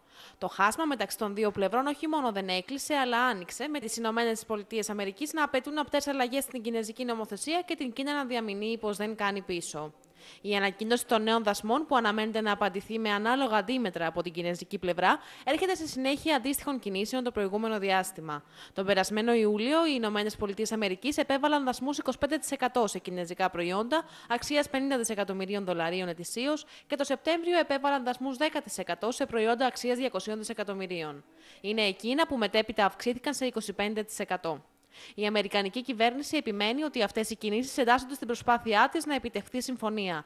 Οι Αμερικανοί αξιωματούχοι εμφανίζονται να έχουν δώσει προθεσμία 30 ημερών στο Πεκίνο να καταλήξει σε συμφωνία, αν δεν θέλει να δει πρόσθετους δασμούς στο σύνολο των εισαγόμενων κινέζικων προϊόντων. Άλλωστε, η πίεση για την επίλυση του θέματος με μια τελική συμφωνία ασκείται και από σημαντικό αριθμό Αμερικανικών επιχειρήσεων που επηρεάζονται αρνητικά από τους αυξημένους δασμούς.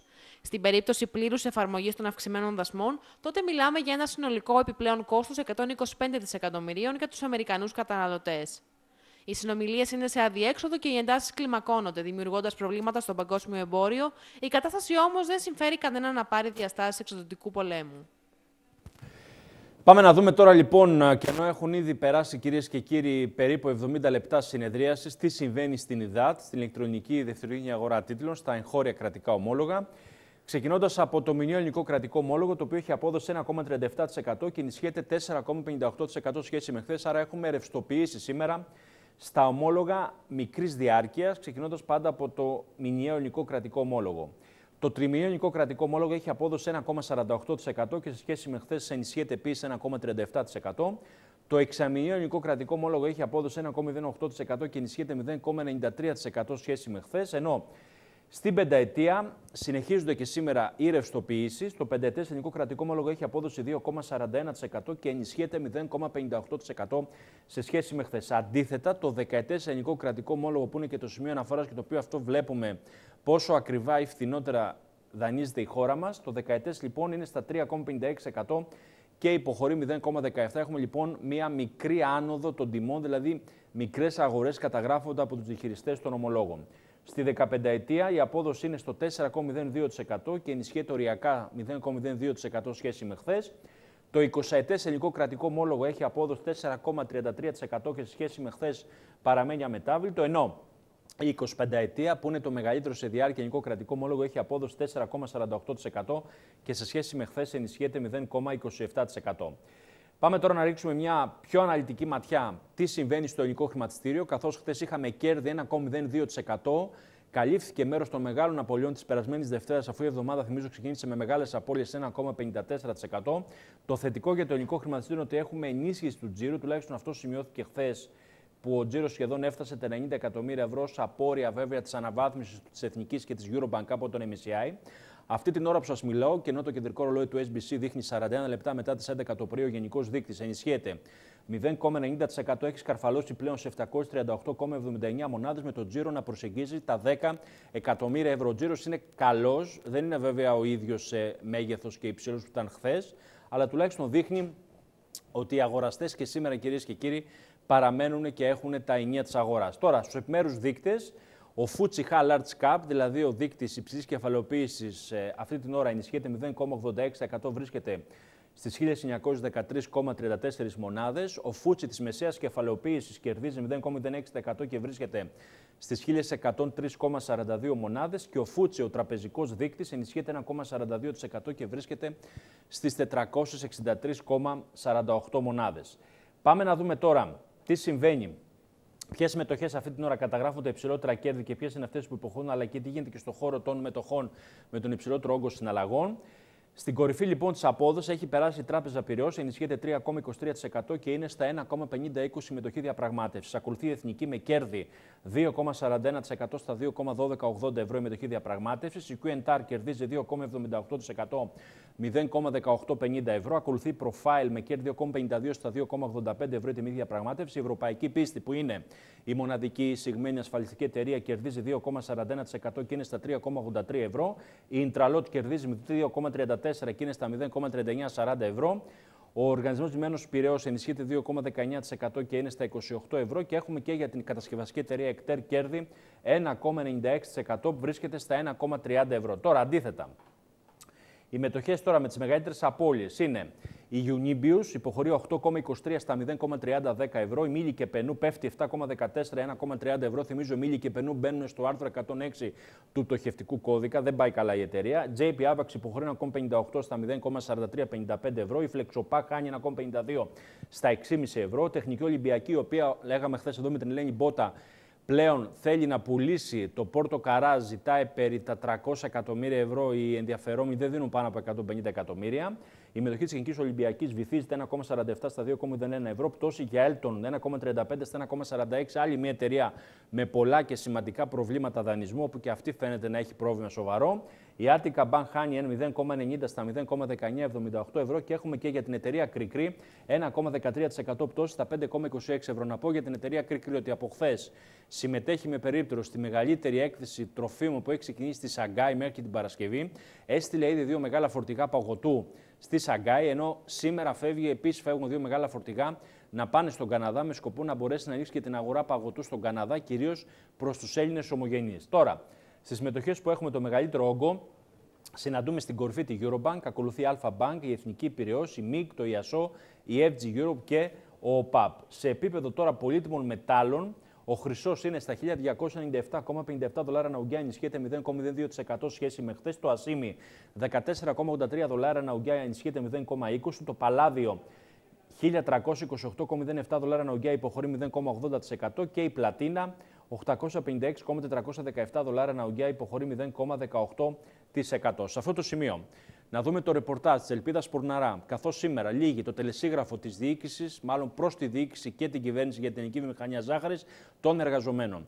Το μεγάλο θέμα των εργαζομένων είναι το εξής. Καταρχάς, παραμένουν απλήρωτοι για περισσότερους από 7 μήνες. Σιγά τα λάγανα θα μου πείτε, εδώ γίνεται χαμός στο ιδιωτικό τομέα. Συν το γεγονός ότι αυτοί οι άνθρωποι είναι του δημοσίου. Απλώς δεν τους έχουν μετατάξει σε θέση του δημοσίου, δεν έχουν πιάσει ακόμη δουλειά. Βέβαια, το θέμα είναι ότι θα γίνει η ιστορική βιομηχανία, καθώς 10 Ιουνίου γίνεται το δικαστήριο στο Πρωτοδικείο Θεσσαλονίκης. Να δούμε τελικά αν το Innovation Fund θα δώσει τα χρήματα που ζητάει η Πυραιός για να αναλάβει την εταιρεία. Πάρα πολύ δύσκολο αυτό ακούγεται. Όλα αυτά όμως εξηγούνται μέσα από το ρεπορτάζ που ετοίμασε η Ελπίδα Πουρνάρα.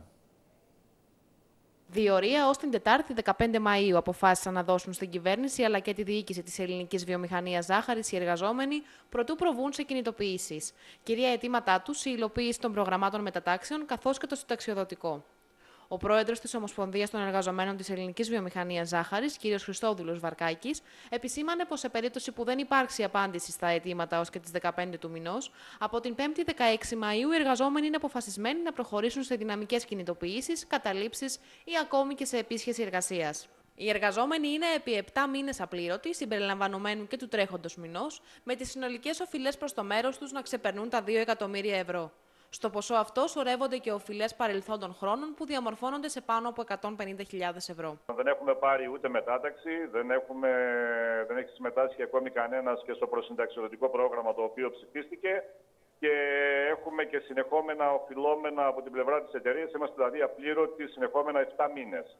Υπάρχουν φυσικά και κάποια οφειλόμενα από παρελθόντα έτη αλλά το κυρίαρχο ζήτημα είναι αυτά τα οφειλόμενα των 7 μηνών, τα οποία μας έχουν εξαντλήσει και δυστυχώς μια μερίδα συναδέλφων μου πλέον κινούνται στα όρια της εξαθλίωσης, κύριε Ντόκα. Με τον, με τον κύριο Πιτσιόρλα δεν μιλάτε, δεν είχε πει ότι έχει λυθεί το θέμα, δεν έχετε επαφή; Φυσικά και μιλάμε και θα σας πω που, που βρισκόμαστε και τι, τι αποφάσεις έχουμε πάρει κιόλας για τις επόμενες ημέρες για το πώς θα κινηθούμε ως εργαζόμενοι. Λοιπόν, σχετικά με τη μετάταξη την οποία αναφέρατε, προγράμματα μετατάξεων και το προσυνταξιωτικό πρόγραμμα δεν έχουν εφαρμοστεί.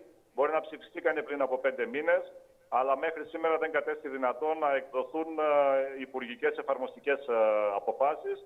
Οπότε δεν έχει γίνει τίποτα επί της ουσίας, κύριε Ντόκα. Μάλιστα. Ε, από την άλλη πλευρά, για τον κύριο Πιτσιόρλα που αναφέρατε, έχουμε αρκετές συχνές συζητήσεις και συναντήσεις. Δυστυχώς δεν έχει προκύψει κάποια εξέλιξη. Υπάρχει τουλάχιστον από την πλευρά του, βγάζει όλη εκείνη τη διάθεση. Υπάρχει, θα έλεγα, και η υποσχεσιολογία που δεν μου αρέσει η έκφραση, ότι όλα θα λυθούν, όλα θα προχωρήσουν.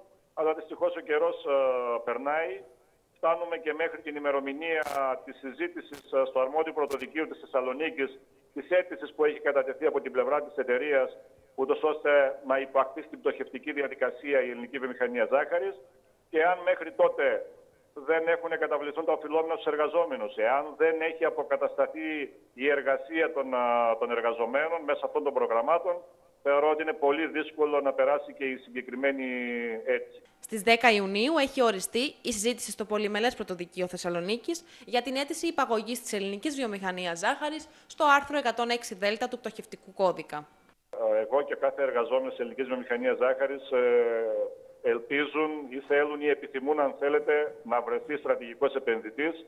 Ε, κατά την ταπεινή μου άποψη, το εγχείρημα είναι πάρα, πάρα πολύ δύσκολο. Δεν είμαι αισιόδοξος, θα έλεγα.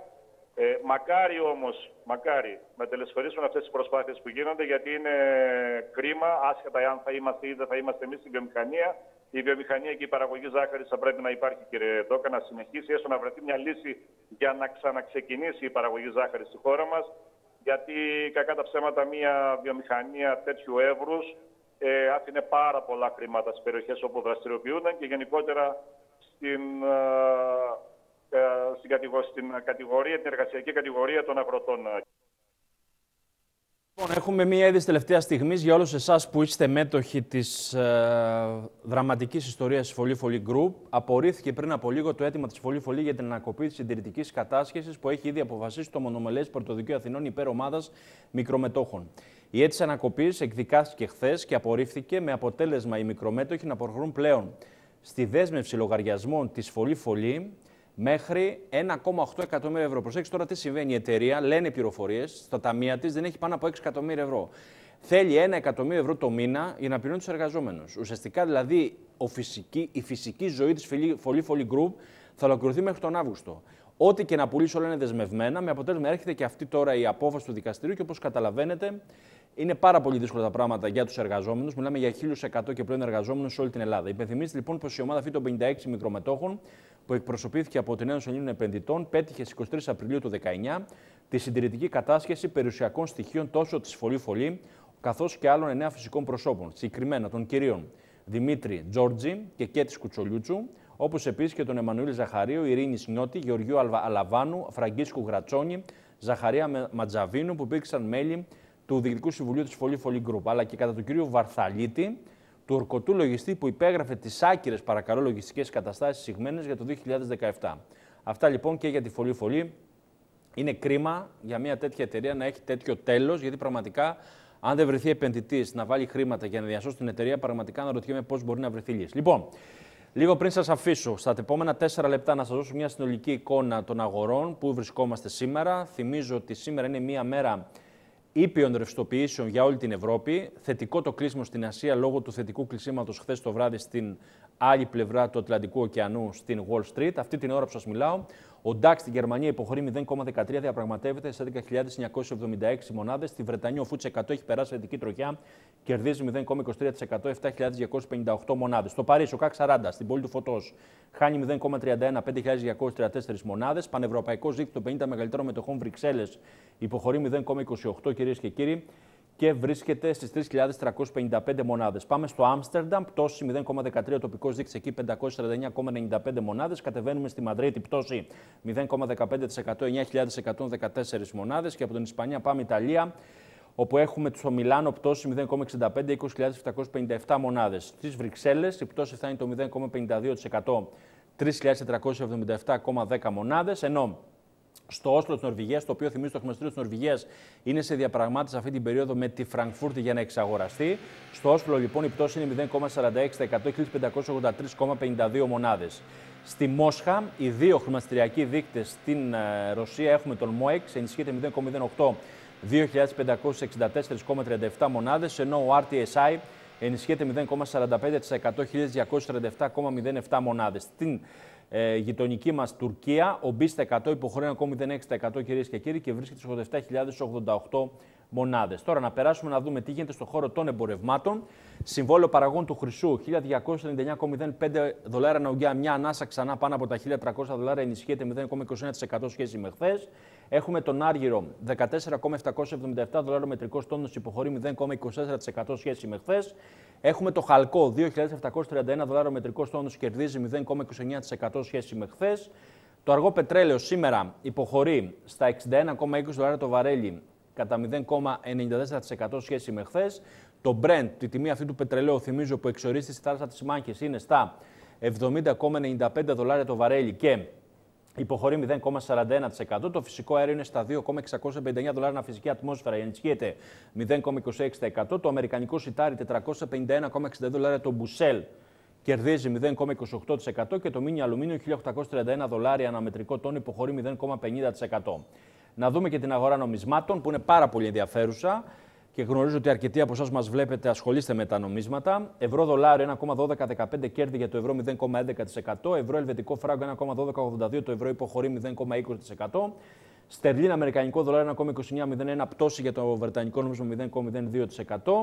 Έχουμε ευρώ στερλίνα 0,8683 πτώση για το ευρώ 0,01%. Ευρώ ρούβλι 72,66 το ευρώ υποχωρεί 0,12. Αμερικανικό δολάριο γεν 109,47 το αμερικανικό δολάριο υποχωρεί 0,11 και ευρώ αυστραλίζικο δολάριο 1,6990 το ευρωπαϊκό νόμισμα κερδίζει 0,32%. Λοιπόν, τελευταία ματιά πριν σας αφήσω για το ελληνικό χρηματιστήριο, το οποίο φαίνεται ότι έχει καθυλωθεί ο όγκος συναλλαγών. Πλέον δεν ξεπερνάμε καν τα 12 εκατομμύρια ευρώ και πάμε να συμπληρώσουμε ήδη 90 λεπτά χρηματιστηριακή συνεδρία. Το καλό είναι ότι ο Γενικός Δείκτη έχει κάνει ένα άλμα της τάξης του 0,81%, 737,97 μονάδες.